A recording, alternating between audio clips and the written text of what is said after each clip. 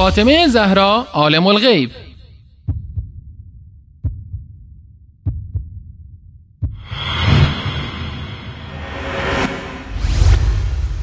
خود بیبی بی به آقا امیرالمؤمنین صلوات الله علیه عرض می‌کند که یا ابل حسن انی اعلم به ما کان و ما یکون و ما هو کائن. یا امیر المؤمنین من فاطمه می‌دانم گذشته بشریت را گذشته عالم را.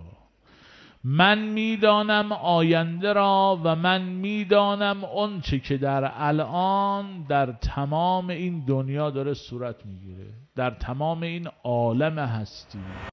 بینندگان گرامی علم غیب یعنی اینکه انسان بدون استفاده از اسباب اتفاقی را پیش بینی کند. چنین علمی مخصوص الله متعال است و از اسرار علم الهی به شمار می رود الله متعال میفرماید قل لا يعلم من في السماوات والأرض الغيب إلا الله وما يشعرون أيان يبعثون.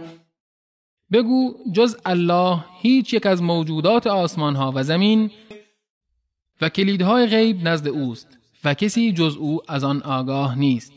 به آنچه در خشکی و دریاست آگاه است و هیچ برگی نمی افتد مگر آن که آن را می‌داند و هیچ دانه ای در تاریکی های زمین و هیچ تر و خشکی نیست مگر آن که در کتابی روشن ثبت شده است. اما آخوندهای رافزی به مخالفت سریح قرآن کریم پرداخته و ائمه را عالم الغیب می‌دانند مشاهده نمودید که این آخوند رافزی غالی فاطمه زهرا رضی الله عنها را به تمام امور غیبی چه گذشته چه آینده و چه حال آگاه دانسته و روایتی بی اساس و بی سند و دروغین را به خورد مردم می دهد.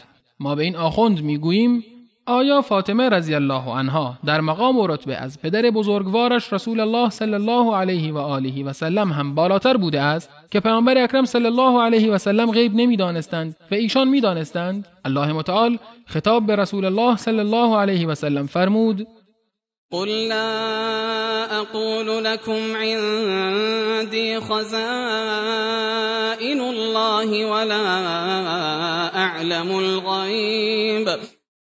بگو نمی‌گویم گنج ها و خزانه های الله نزد من است و من غیب نمی‌دانم. و اگر فاطمه رضی الله عنها به همه امور غیبی آگاهی می داشت پس چرا به ایشان در زندگیشان ضرر می رسید و با مشکلات روبرو می شدند در حالی که آیه زیر اشاره می کند که به دانای غیب هیچ ضرری نمی رسد.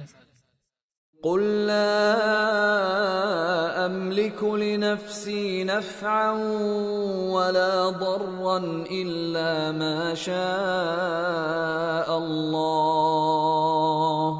ولو كنت اعلم الغيب لاستكثرت من الخير وما مسني السوء. بگو من برای خودم مالک هیچ نفع و ضرری نیستم مگر آنچه الله بخواهد. و اگر غیب می دانستم سود بسیاری برای خودم فراهم می ساختم و هیچ زیانی به من نمی رسید